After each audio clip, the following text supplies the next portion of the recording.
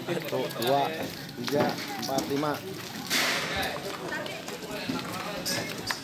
Apanya enak?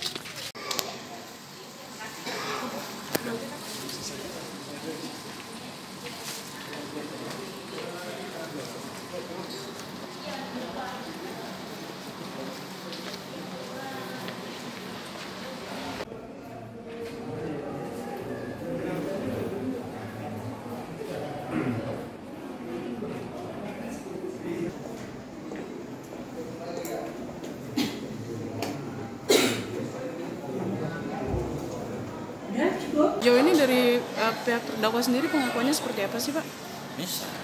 Menyesal ya? Karena memang uh, dia tidak melakukan secara terencana kah? Atau mungkin dia terpancing? Ya itu. Itu dalam dakwaan kan ada ada kronologisnya tadi. Ya, nah itulah yang yang memicu ini akan kita uji apakah dengan saksi-saksi fakta itu bisa meringankan. Jadi alasan tidak eksepsi tadi menurut waktu ya Bang? alasan tidak menghentikan eksepsi Syarat formil. cara formil Kita mengganggu syarat formil jaksa. Jaksa kan piawai dalam hal itu. Karena kan teorinya jelas. And subjective we ordering and subjective posisi. Subjektif. Karena dia melaksanakan undang-undang. hmm.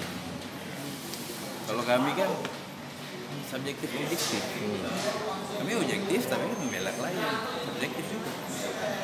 Kalau terdakwa sendiri, eh, ya, kalau terdakwa sendiri dengan tuntutan uh, mati itu gimana?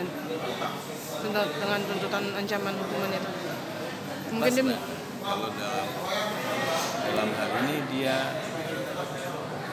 ya cukup merasa bersalah lah. Apa dikatakan dia juga mohon nanti di persidangan ini ada penilaian hakim yang bisa meringankan.